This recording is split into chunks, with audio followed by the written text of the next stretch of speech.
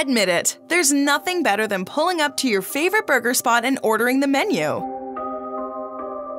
The convenience of having every type of food at your fingertips is something past generations would turn red over, but we often don't think about how this is affecting our health. I mean, you gain a few pounds, but what about your mental health? For years, studies have shown that fast food can lead to cognitive decline.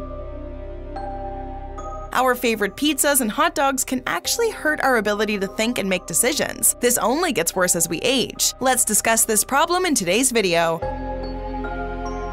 What is cognitive impairment? What foods do I need to cut? What foods do I need to start eating? We're talking all that and more.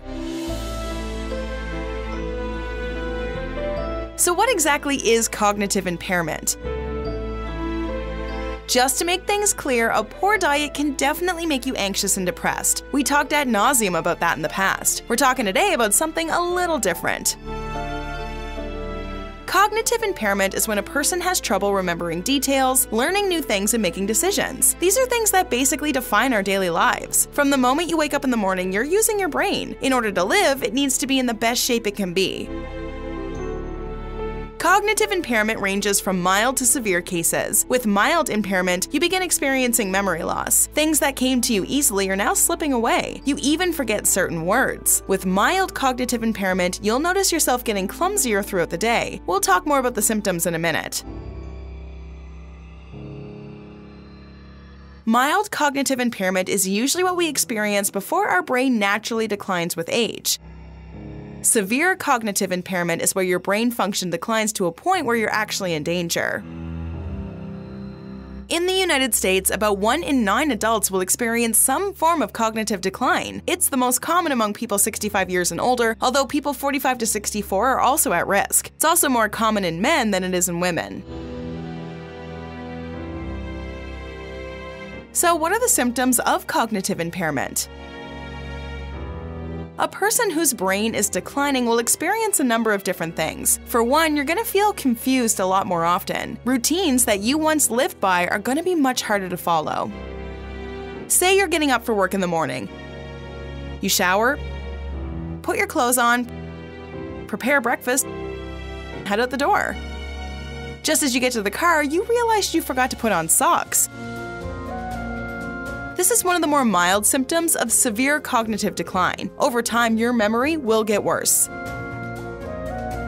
Another early sign of cognitive decline is forgetting important dates and appointments. These could be things that are marked down on your calendar, events you never usually forget but somehow have completely flown over you. At this point, your friends and family may get concerned. Maybe you forgot about a wedding or birthday party for someone close, or you forgot about an anniversary dinner with your partner. These are the types of things that cause tension in a relationship. Maintaining conversation will also become a challenge. You'll find yourself getting lost in the middle of a sentence, unable to remember words. Soon enough, just talking will be hard. Writing words will also frustrate your brain. Just signing your name becomes a task. At this point, your brain is losing its ability to perform basic functions. These are the things you need in order to live. How are you going to work if you're unable to make decisions or remember details, especially if your job requires you to be physical? So let's talk about diet. Fast food is not just a bad habit. For many of us, it's a way of life.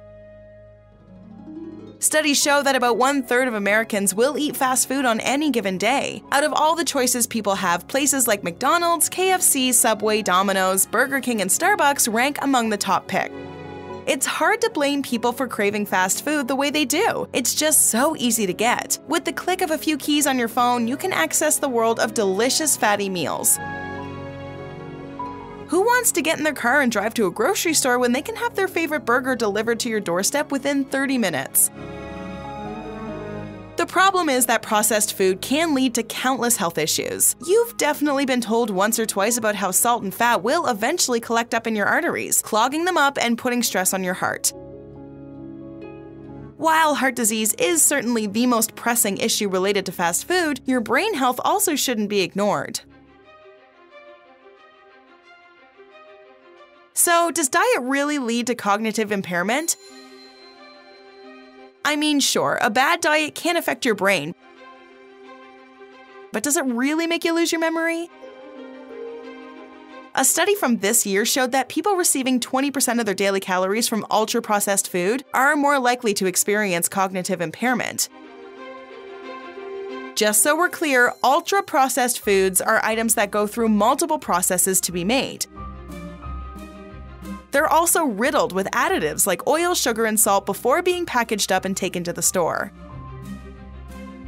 Sure, it's okay to treat yourself every now and then, but some people put stuff like this in their body every single day. If every one of your breakfasts, lunches, and dinners includes ultra processed food, your risk of cognitive decline goes up. During this recent study, doctors followed the eating habits of over 10,000 Brazilians for up to a decade. Over half of the participants were women, with an average age of 51. By the end, people who got one fifth of their calories from processed foods saw a 28% quicker decline in cognitive function than people who ate lower amounts. So, how exactly does sugar and fat affect the brain? Have you ever heard of neurons? These are tiny units of the brain that serves as messengers of information. The food you eat will affect the neurons. The more sugar and fat you consume, the more inflammation your neurons will go through. This makes it harder for your brain to produce new neurons. This can lead to things like depression and severe stress. This pressure on your brain will affect the way you make decisions. This will only make your job harder along with your personal life. So, what foods do I start eating more of? At this point, it seems like the million dollar question. Luckily for you, there are tons of foods that not only reduce your stress but boost your memory. For starters, we have things like broccoli. I know broccoli is a no no word for a lot of you, but trust me, it helps. Broccoli contains antioxidants that bring down inflammation and reduce brain damage. Still not sold on broccoli? Well, maybe you're more of a fruit person. If that's the case, try some blueberries. They're one of the best foods your brain can have. This is again because of the antioxidants that fight off free radicals and stop inflammation. The less inflammation on your brain, the more communication there will be between your brain cells. For all you coffee lovers out there, black coffee is one of the best drinks your brain can have. This is all thanks to the power of caffeine and antioxidants. Coffee will increase your alertness and improve your mood and concentration. Your trips to the drive through may not have stopped just yet. If you're not a coffee person, maybe you want tea. Green tea is particularly good for your mental health. All the caffeine works to boost your brain function. It also holds amino acids that boost the activity of neurons. Studies have shown that the antioxidants in green tea can actually reduce the risk of things like Alzheimer's and Parkinson's down the road.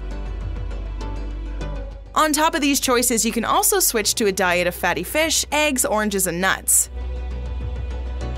If you're looking to treat yourself, try having some dark chocolate. It may not have the taste you want, but it can definitely improve the way your brain functions. Your diet is essential to your survival. You're not going to live a happy, healthy life without eating the right foods. It affects so many other things outside of your brain function. Let's keep the conversation going with a couple more diet related videos, shall we? Here's what you need to know. Check out the 19 best foods to boost your gut health. Or how about 9 foods that make your liver stronger? Go ahead, click one, or better yet, watch both and learn more about how you can improve your health through your diet. Have you or a family member experienced cognitive impairment? Let us know in the comments below.